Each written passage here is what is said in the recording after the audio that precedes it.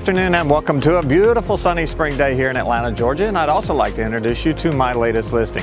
Hi, I'm Chris May with Coldwell Banker Residential Brokerage, and this is 1372 Sanden Ferry Drive here in Decatur.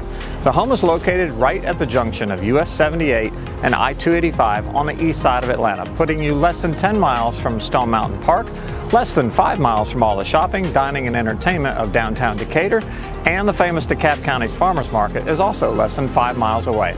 There's no HOA in this beautiful established neighborhood of Lynmore Heights, but there is swim and tennis available within walking distance of this home at the Lynmore Woods Swim and Tennis Club for a separate voluntary membership. This 1965 Colonial has recently undergone an extensive renovation. The home now offers three bedrooms, three full baths, and two full kitchens. The renovation is sure to impress with granite countertops, two brand new full stainless steel appliance packages, and glass tile backsplashes in both kitchens.